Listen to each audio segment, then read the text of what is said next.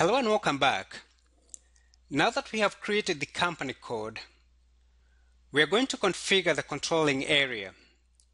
This is the next important organizational unit for cost accounting purposes. To customize the controlling area, we are going to go to SPRO, then IMG, then to Enterprise Structure, Definition, then to Controlling, and then to Maintain Controlling Area. We get a pop-up window and we are going to select Maintain Controlling Area. We select it. And here we have a list of controlling areas that have already been created. In our case, we're going to create a new entry. So we go to new entries and we are ready to create our new controlling area. So we want our controlling area to be the same as company code. So if we click on this, we can enter our company code, which is BRIQ. We run it, and then our controlling area field has been populated. Our name is there, it's Bridges IQ. Um, the chart of accounts has been populated from the company code, the same as fiscal year variant. And this is controlling area is the same as company code.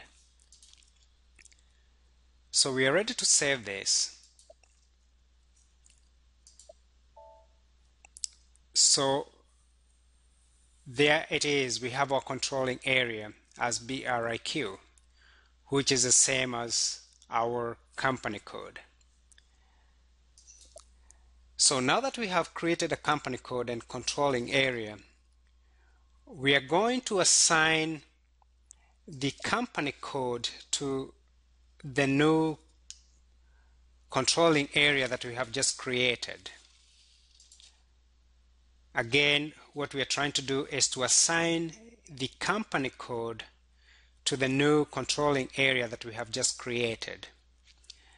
So to do that, we are going to go to assignment. Again, it's en enterprise structure, then to assignment, then to controlling and we want to assign company code to controlling area so again we select that and here's a list of all the controlling areas that have, are in the system we just created ours a few minutes ago and that's going to be somewhere in this list. That was BRIQ. So we select it and then we want to assign it to company code.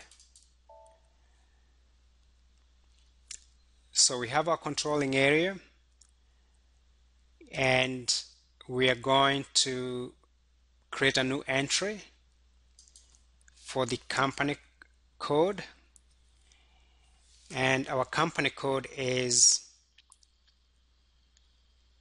Bridges IQ BRIQ we select that and then save. Enter. And here it is. So this is our company code. This is our controlling area. So we have assigned our company code to the controlling area so in the next video we are going to create a plant and a plant is one of the most important units in maintenance related organizational structure we are going to again once we create a plant we are going to assign it to uh, a company and we'll see how that is done in the next video. So thank you for watching and see you in the next video.